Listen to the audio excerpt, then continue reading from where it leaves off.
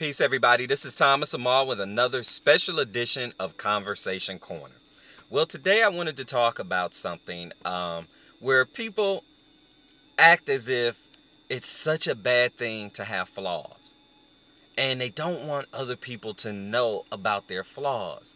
And I always wonder, and being that I was in the same boat at one time, I always wondered, um, is that some self-conscious or is it low self-esteem or what is it? But it's your own uniqueness. It's all you.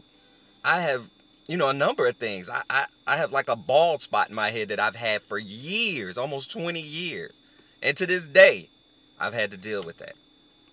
To this day, I've, I have birthmarks that are just like in places that are just absolutely ridiculous. That's just how it is. That those are things that I just happen. I don't like oranges. I won't eat an orange but I'll eat orange, I'll drink orange juice with pulp in it, lots of pulp in it. I love that, but I will not eat an orange. Things like that that really don't make sense. I have to have french fries when I eat pizza. But that's my own uniqueness. That's something about me. Um, for whatever reason, I have a, a large number of female friends, but holding down relationships for long term, hmm.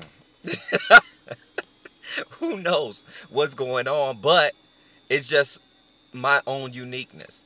It's me. It's a part of me. And once you become comfortable with who you actually are, there's so many things that are going on in this world and so many things that can go on in your life that we concern ourselves with the most frivolous things. I don't care. I don't care. That weight has been lifted off my shoulders. I don't care what anybody thinks about me, anybody thinks about the things that I do, anybody who cares about the way I look because the earth is big.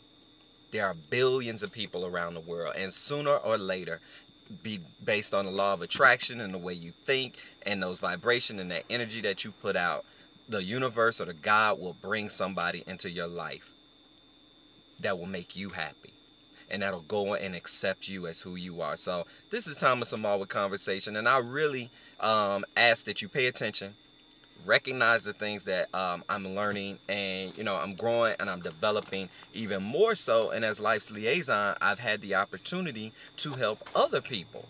And actually people pay me to talk to them. Can you believe that? I'm not even a college graduate. I'm a college dropout teenage parent. You know worked in the corporate world for over almost 20 years. But I always had a couple of things on my side. Some of the perks that I had, some of the things that were um, good that have benefited me was as I understand the skill of listening. At listening is a skill. And I worked at it and I worked at it. And once I began to be very good at listening, people started to talk to me even more so. As well as I'm very good, and I've noticed this, at having the ability to get people to think from another perspective just to think from another perspective, not to change their mind, but just to get them to think. And then they weigh their options. But I also have the ability to get people to think um, about themselves in a better light. I have no problem complimenting people. I have no problem telling people the truth in the manner and on the level and in the uh, basis of where they are at that particular moment. That's how you talk to people. That's a little tip. You talk to people in where they are at the level that they are. The whole goal is to get to a higher conscious level. So with that, this is Thomas Amal with Conversation Corner. I ask that you really pay attention to me.